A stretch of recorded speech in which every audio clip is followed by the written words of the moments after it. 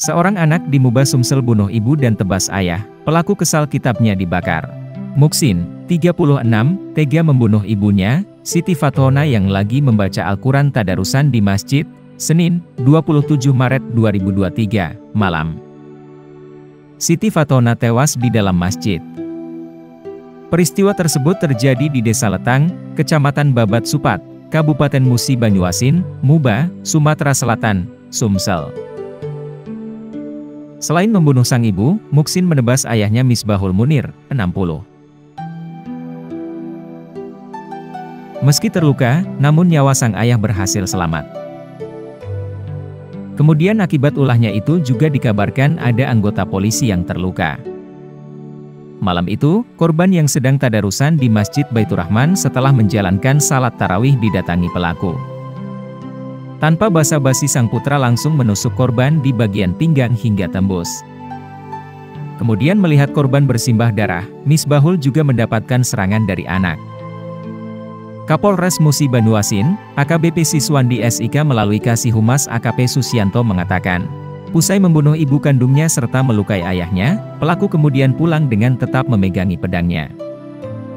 Warga bersama Polsek Babat Supat segera datang ke lokasi mengamankan pelaku. Namun pelaku kembali mengamuk dan melukai anggota polisi. Pelaku berhasil kita amankan setelah kita lakukan tindakan tegas terukur dengan menembak.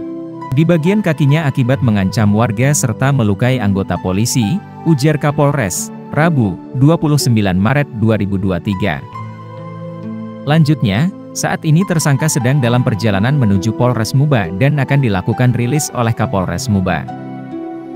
Tersangka sedang menuju ke Polres Muba bersama tim Polsek Babat Supat, ujarnya.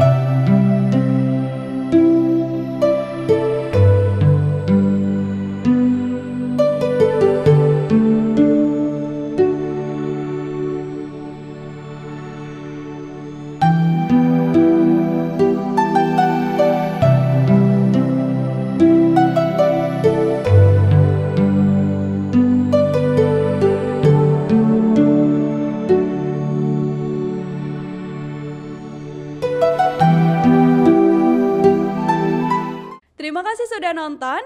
Jangan lupa like, subscribe, dan share ya.